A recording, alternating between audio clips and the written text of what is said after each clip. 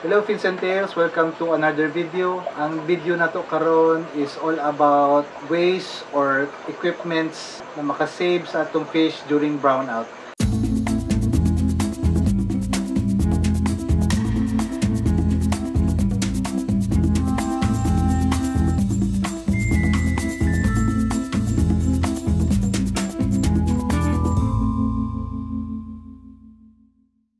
Guys, ang video na to karon is all about ang ways bitaw or mga equipment na makasave sa atong isda sa panahon sa brownout. Kay lately, sige na lang brownout no.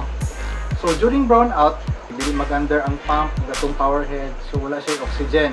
So chances are ang isda malumos. Tinuod, malumos ang isda kung walay oxygen.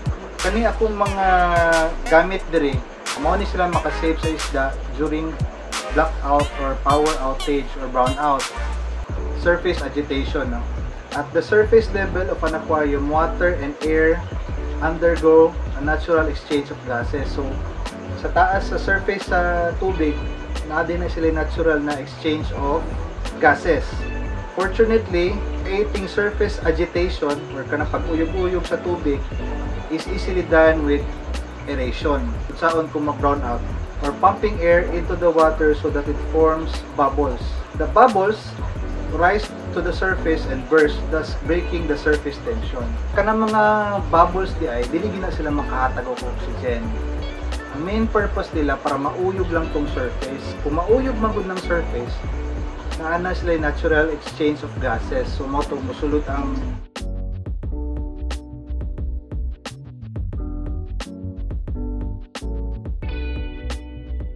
since brownout kita tag ways mapalihok nato ang surface para magkaroon tag natural exchange of gases. So ang una nako na try sa una kining galon or pwede mo magamit o any container no? Butangan og kanang mapalit mo kanang gripo ipatong siya sa taas sa aquarium.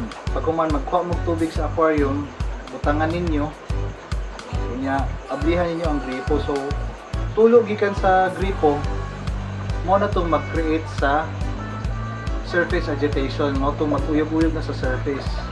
Barato lang po siguro ni mga nasa 200 plus lang uh, battery operated na air pump. Alam siya sa mga 100 plus yata. Daghan naman daghan nag running ani karon. Gamit na kag duha ka medium size na katulingin na baterya na dagko. Pero lisod lang ani kay wala ka kabalo kung power na bilin sa baterya.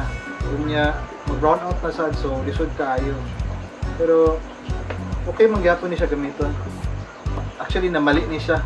Uh, akong ginapangita lain klase katong USB na air pump unta niya kani akong na order sa Shopee. Sa 100 plus lang ko ni siya mini power head or mini pump. Gamit lang ka og kanang I'm sure tanan na may power bank. Charge lang daan always ang power bank. Kani maka-create po ni surface agitation no. Extend lang nimo hose diri man magawas ang tubig. Extend nimo hose. Pataas lang hose para naay bagsak bagsak sa surface. USB na mini water pump. Next, kaning air pump na gyud. So nag-order ko sa so, mali tong na-order na ako previously. Uh, nasa 165 gikan pag China. Okay man siya, na-try na po na ako. Power bank gihapon, tangkag airstone pero ako dili na ako ginabutangan ng airstone para mas kusog ang bugas sa bubbles mas grabe ang surface agitation. Mura lang na investment ACDC na air pump. Medyo mahal lang siya gamay. Kani siguro murag nasa 1,000 dual siya. Kanya Huike ang brand. Uh, pwede nimo siya isaksak direkta. And pag mag brown out automatic na siya mag turn on. Dili na ako siya ginasaksak kay para dili gani kay mabunog. So naka-standby lang siya naka-charge daan. Then kung mag-brown out ako na siyang i-install sa aquarium. So gapupod ni siya na i-invest no sa atong fish keeping. Kay peace of mind gyud kaayo ni dili na to masulti ang panahon.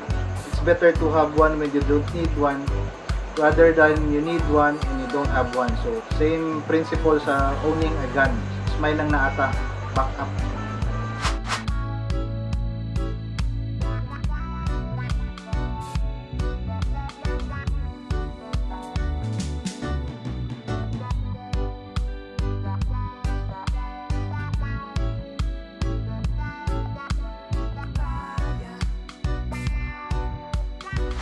Hello, Pins and Tails. Uh, ako din si Erwin from OE Pet Shop.